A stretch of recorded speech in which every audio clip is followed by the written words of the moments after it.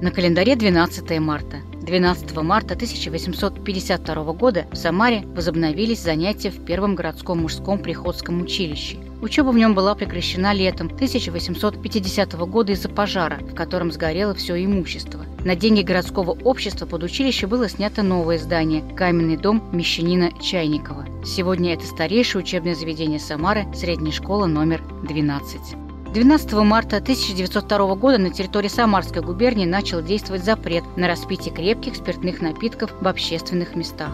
Ежегодно 12 марта в нашей стране отмечается День работника уголовно-исполнительной системы России.